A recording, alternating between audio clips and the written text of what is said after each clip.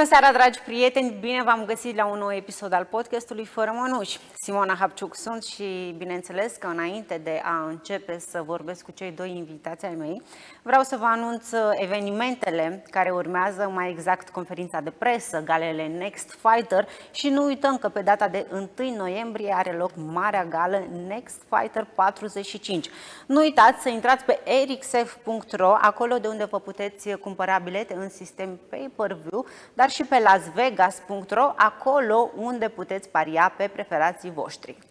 Și că tot a venit uh, vorba de gală, să știți că um, invitații mei din această seară și-ar cam dori și ei să ajungă într-o gală și și-ar cam dori să ajungă împreună, asta după ce nu au reușit să ajungă împreună să-și dispute titlul de campion Eric Sepp Slap.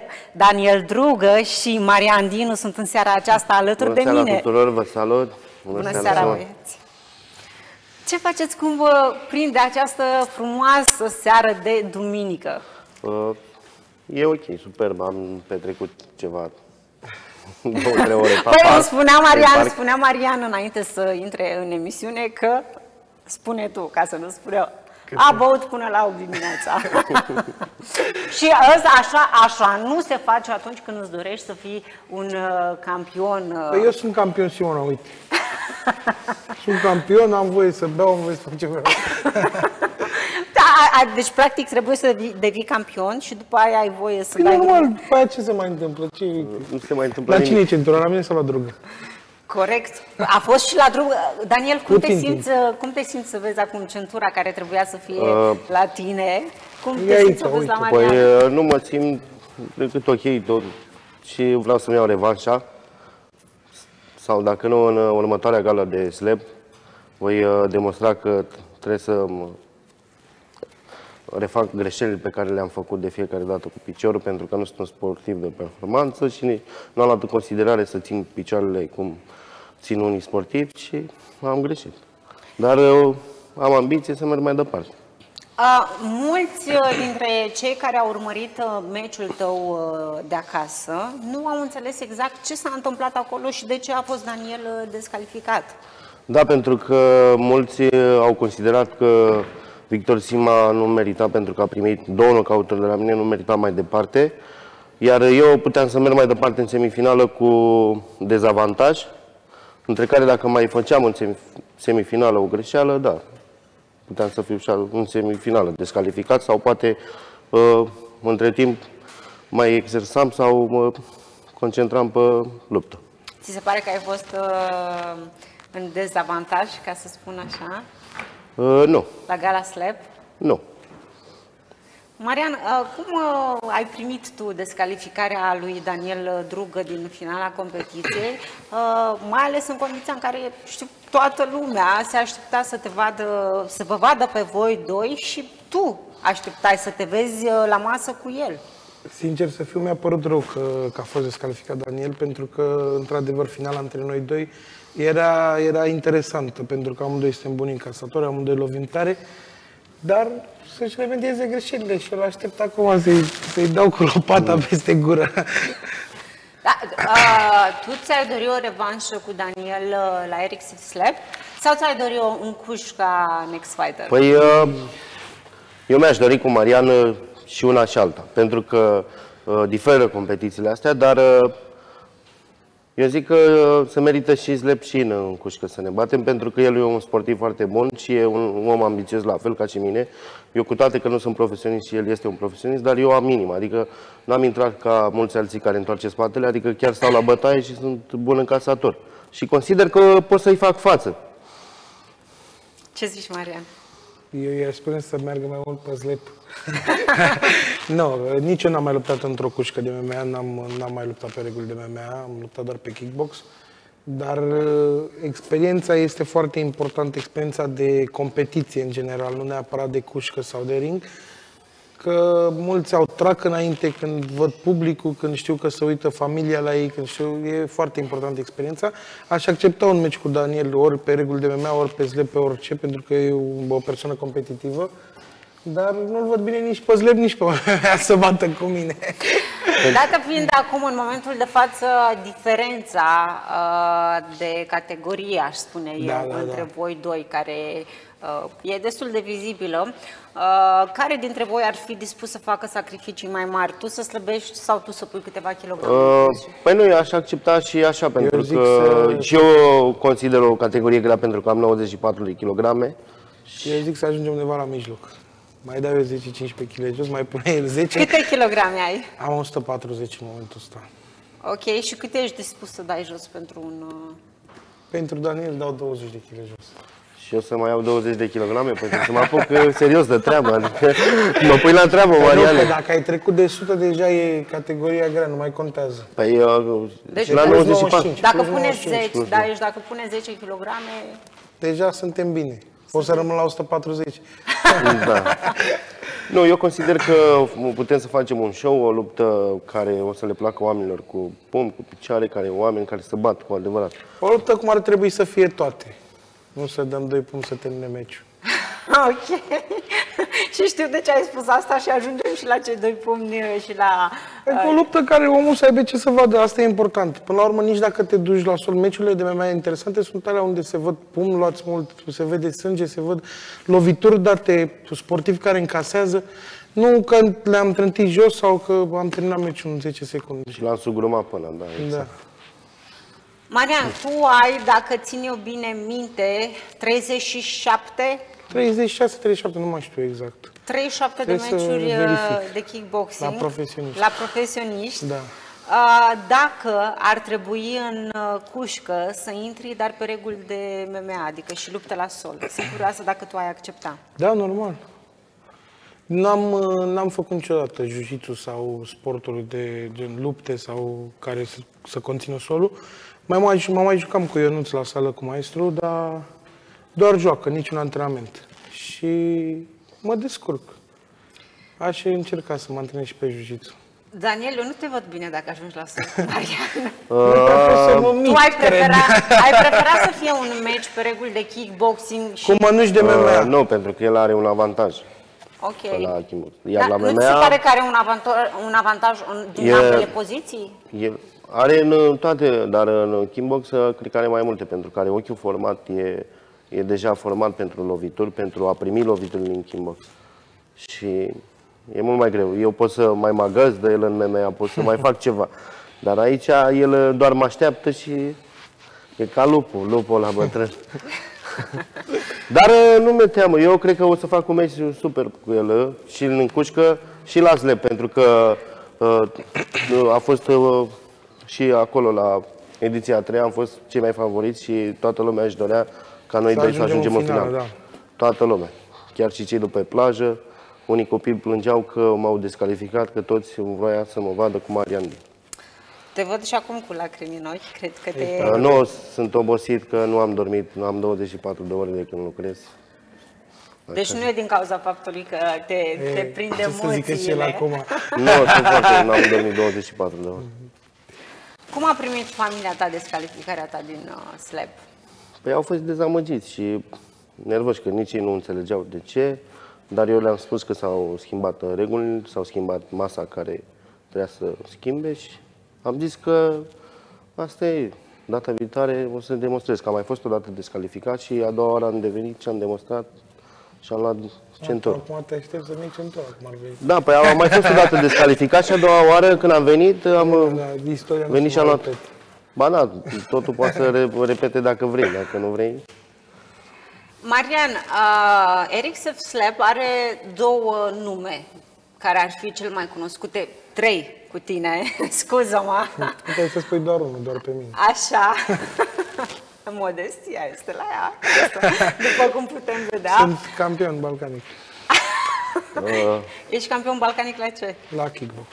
Am înțeles. Uh, ok. Și până la campionul balcanic la kickboxing, uh, spuneam de Eric Sef Slep, care are până la tine. Uh, sunt cunoscuți Daniel Drugă și Comșa.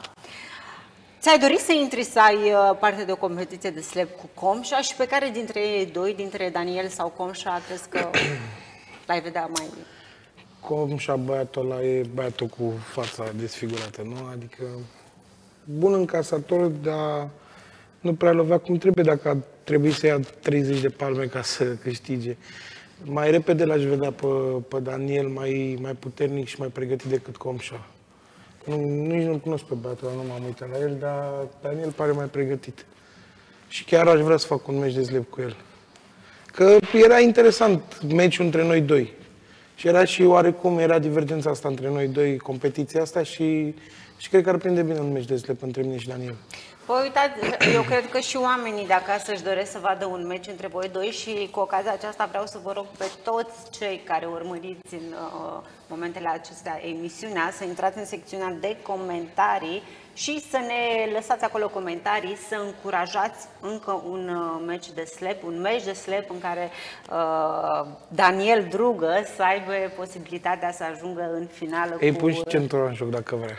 Îi pui centura în, în joc? Uh, Eu mai am o centură, dar... Le punem pe bătătorii de amândouă Nexiv. la bătaie. Și le punem pe amândouă. Da, eu sunt de acord pentru că îmi place să Și fiu... care câștigă să Și ia. rămâne cu două centuri. Exact. Da.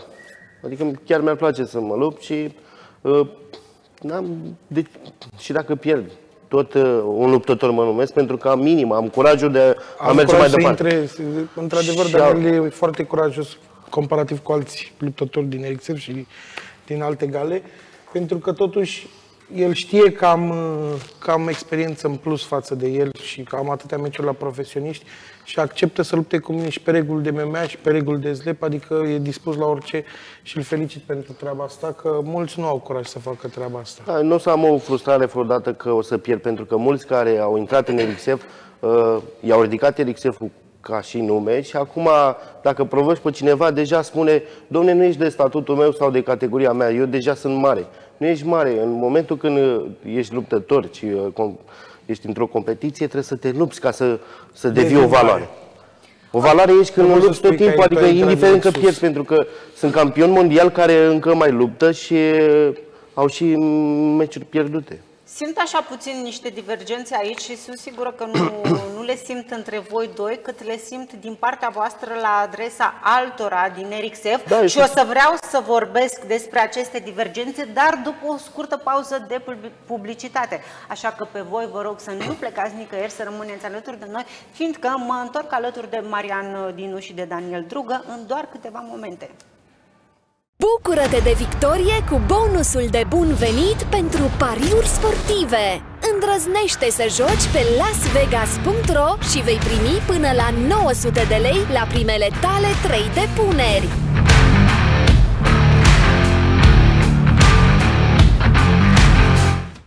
Până la 3000 de lei și 231 de rotiri gratuite bonus de bun venit la înregistrarea pe Las Vegas. Revendică-ți cadoul și nu rata distracția din online.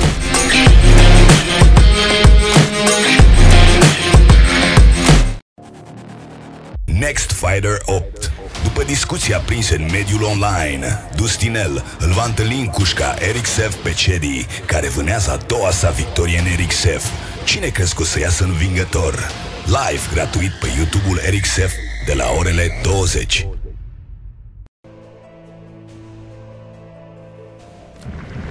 Bucură-te de o aventură de senzație pe lasvegas.ro și câștigă recompense nebănuite cu slotul Release the Kraken. Joacă acum și descoperă premiile surpriză bine ascunse în cuferele din adâncul oceanului.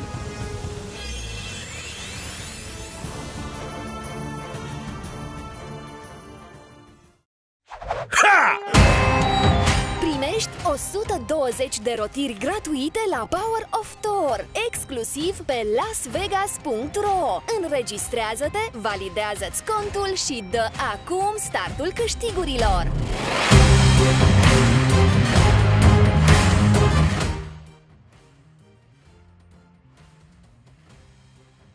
Îți deschidem calea către cele mai faimoase comori ale Olimpului antic. Îndrăznește să pășești în lumea fascinantă a zeilor cu slotul Gates of Olympus. Zeus îți va fi partener de aventură în căutarea comorilor de pe lasvegas.ro Haideți să dăm start to câștigurilor pe online și să trăim o experiență big broană, cap coadă, sus, jos. But, wow, wow, be careful.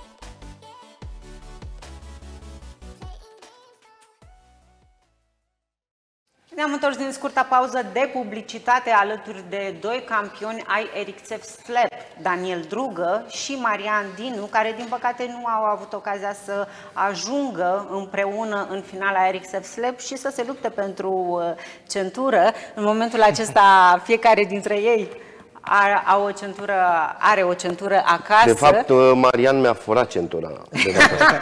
pentru că nu a luat-o de la mine, uh, a luat-o de la altcineva. Și eu consider că mi-a furat. Ți-a furat centura. Da. Ok, am deci tu ești câștigat. sigur, ești sigur că aveai parte de câștig dacă ajungeai... uh, Uh, Da, aveam încredere în mine și chiar dacă era Drăguț, ocazia uite.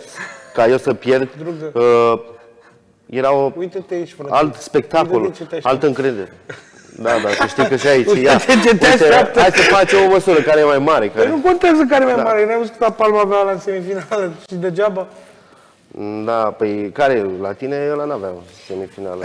Bun, până la un uh, posibil meci uh, de Eric Slap uh, dintre voi, eu știu foarte, foarte bine că vă doriți amândoi să intrați în cușcă. Ați spus și voi puțin mai Da. devreme și uh, ați spus, uh, ați aruncat așa câteva săgeți către alte, alte Da, nume eu- din uh, Eric Sunt mulți care pe mine m-au supărat uh, și singurul care l-am considerat că face entertainment și show și tot timpul a laudat Gal a fost Neveu, pentru că eu l-am cunoscut și personal și uh, cu toate că a pierdut două meciuri, el încă acceptă, nu se crede o, o valoare așa de mare. Dar cum e alții, cum e...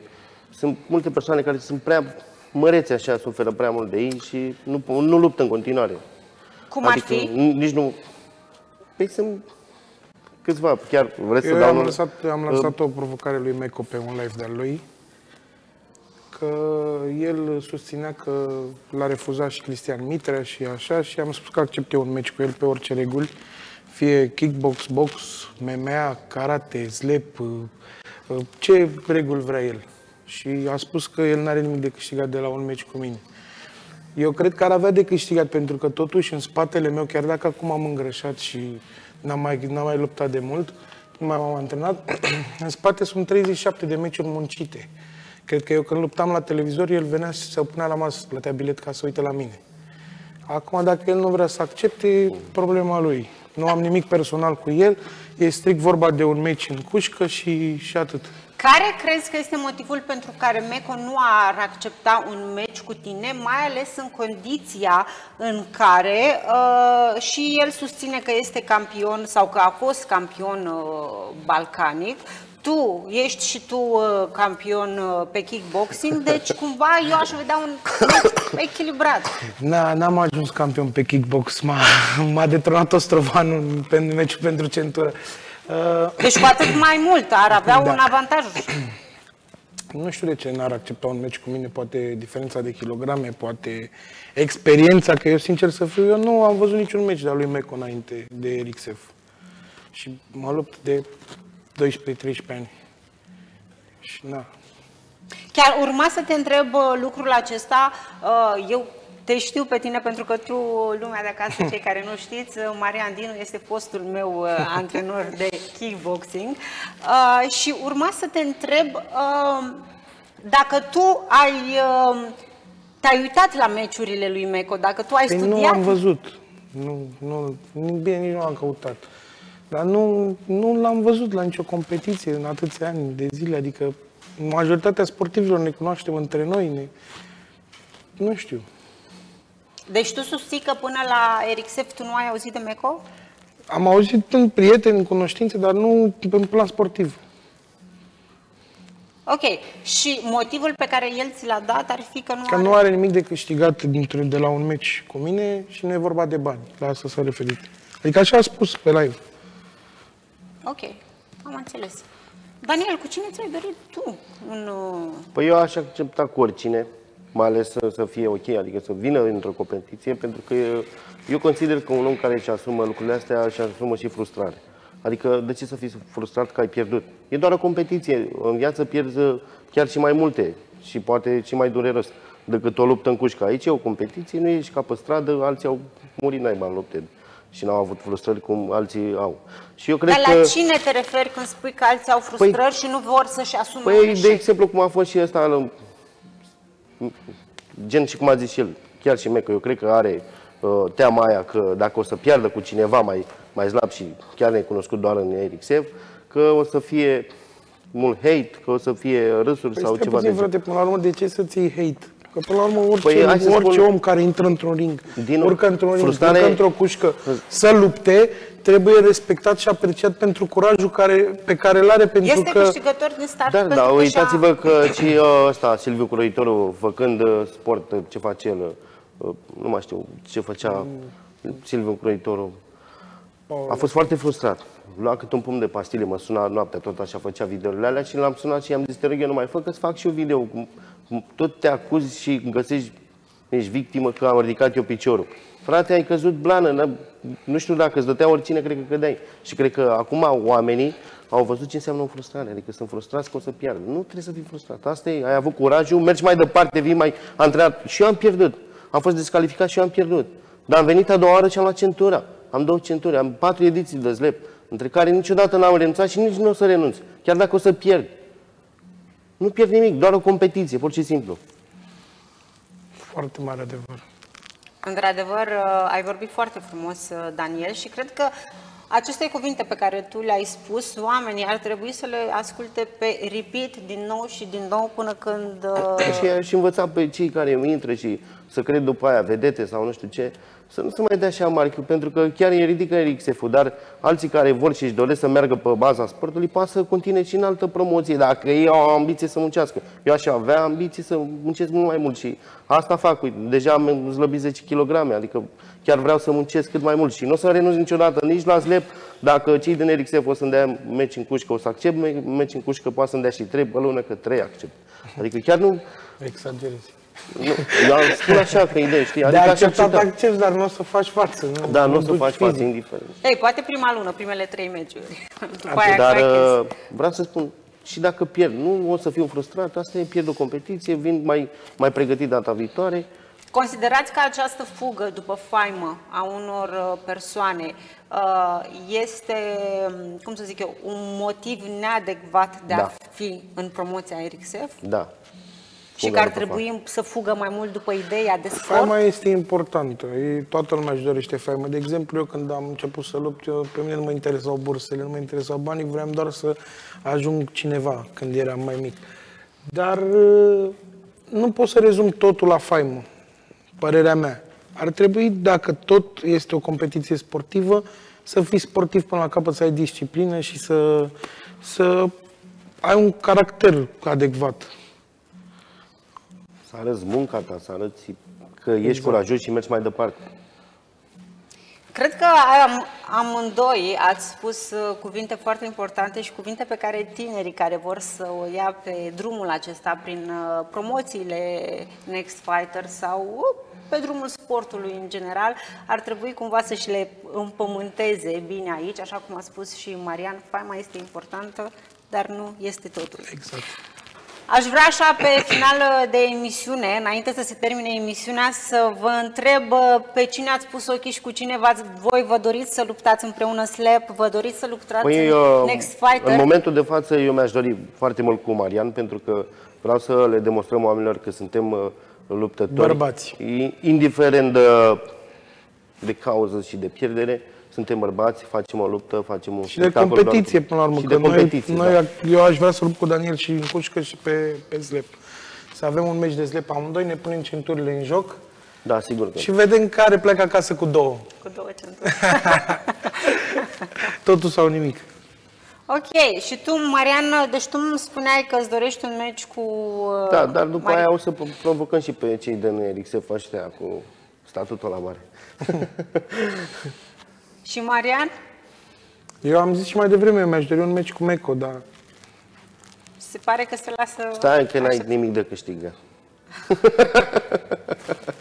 Măi, Marian. acum să vedem. Stai că-ți dau la toba urechi, n-ai nimic de câștigat.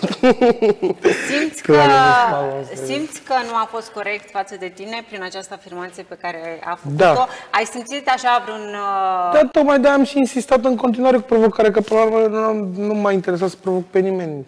Aveam divergența mea cu, cu Daniel, adică era competiția între noi doi, pe mine mă interesa mai mult, dar când am văzut aroganța de care a dat dovadă, gen, m-au deranjat. și, repet, nu e nimic personal, totul e strict, uh, strict competitiv. Bine, el știi că nu te-a refuzat doar pe tine, el a refuzat Da, foarte corect, multe da, persoane da, care...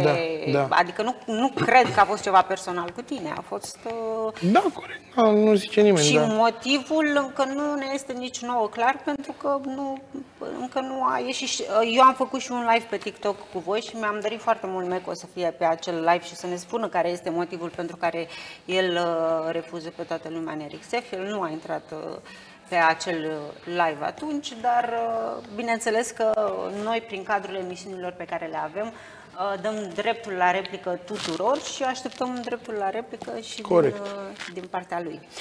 Cum, uh, ce planuri aveți pe, în cap pe viitorul apropiat și cum vă pregătiți pentru viitoare meciuri, ca să spun așa? Eu mă pregătesc la mine la baltă, unde m-am pregătit și pentru slab. Eu, eu am început să lucrez cât mai mult la sală, să muncesc cât mai mult și să exersez pe, să mă concentrez pe, pe chestia aia socială, pe, să fiu, să am, să zic, direcție. Stabilitate, să, pe stabilitate, picioare. da. Ca Exact. să nu poți fi dus la sol. La sol și așa la zlep, pentru zlep și cred că psihic sunt pregătit, pentru că întotdeauna am zis, am ce să pierd, pur și simplu. Faima o să o câștig în timp cu cât muncesc, o să câștig și în timp faima. Nu trebuie să mă ridic odată, gata, să sară lumea pe mine. Nu trebuie să sară lumea, chiar dacă alții mă înjură și alții mă iubesc. Important e că mă iubește cei care eu iubesc. Cei care trebuie. Marian?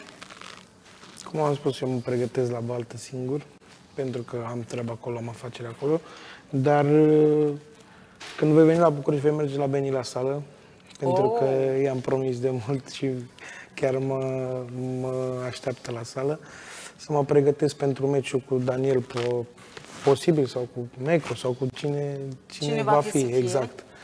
Și sunt sigur că în echipa Benny Fight Academy o să-mi găsesc locul, dacă nu mai colaborez cu Ionuț de un an și ceva. Și mă voi pregăti să, să câștig toate meciurile din RXF sau din alte gale, nu contează.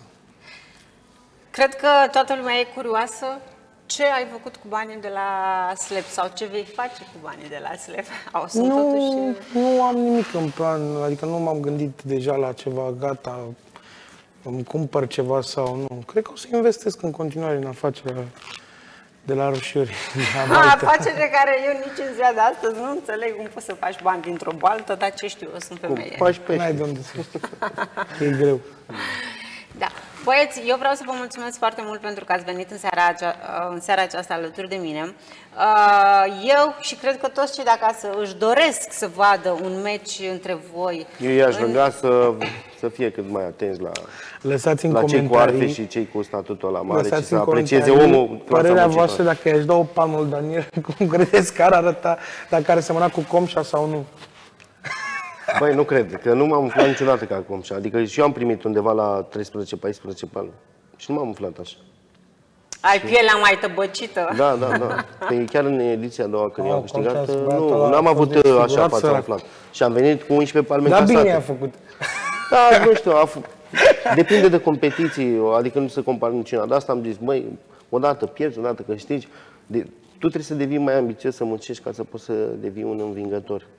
Ca și în viață, de zi cu zi, trebuie să muncești ca să devii un învingător. Nu muncești, nu o să ai niciodată succes dacă nu muncești. Bine, eu nu sunt de părere așa, eu sunt de părere că munca bate talentul doar dacă talentul vrea. Și Cătălin Moroșanu a afirmat același lucru pe care îl gândesc și eu. Da, eu m-am antrenat la Cătălin Mureșan. Așa e. A zis că îți trebuie talent, noroc și muncă. Tu cum crezi? Care dintre ele? Crezi că La ești fel, da. talentat, ai noroc? Da, sau... talent am avut și pot să confirme toată lumea din lumea sportului, adică Și eu m-am uitat la talent Marian. la mine a, f- a fost cu carul, doar că nu am fost disciplinat să, să profit de talentul cu care am fost înzestrat. N-am avut disciplină. Eu stăteam în 87 de kg și luptam la 71 și făceam zlăbirea într-o săptămână. Eu nu mă sunam, mă întreba câte kilograme am și mă urcam pe cântare și puneam una pe mașina de spălat ca să arate mai puțin. ca să nu mă certe. Și mi-aduc aminte când am avut uh, meciul de centură cu Andrei Ostrovanu, uh, m-a întrebat câte kilograme am, eu aveam vreo 84, asta cu 3 săptămâni înainte și trebuia să urc la 71. și mi-a zis, nu, gata, anulăm meciul, că nu, nu faci categoria, iar te faci de râs, iar... Și începusem efectiv să plâng pentru că vreau neapărat să lupt pentru centură, vreau să câștig și m-a lăsat să lupt până la urmă și acolo am greșit eu, trebuia să anulez meciul, pentru că am slăbit 18 kg într-o săptămână și n-am reușit să mă revin înainte de meci și am pierdut meciul în prima repriză, printr-o numărătoare. Și n-am căzut în picioare, dar nici atunci, ca, ca la slep. Și totuși, uite că ți-ai luat înfrângerea, ca să zic așa, cu demnitate Da, și da, mergi da, mai normal. departe și Te-ai nu dorit o renunți la- centură, o ai. O, exact, uite. o centură. Am luat la- centură la slep și n-am luat la kickbox. Și s-ar zice că la slep e mult mai greu decât, decât în cușcă, fiindcă majoritatea din cușcă fug de ideea de a ajunge Pentru la că, slep. da, aici trebuie să Trebuie stai să ai puțină nebunie în cap, să, să, să fii puțin nebun, să stai să vină palma, adică na, nu cred că ar face față oricine psihic. Trebuie Da. să fii psihopat. Mai ales cum a zis Mike, să vină cazmau, dă drugă cu Să vină cazmau. lopata. Nu, cazmau.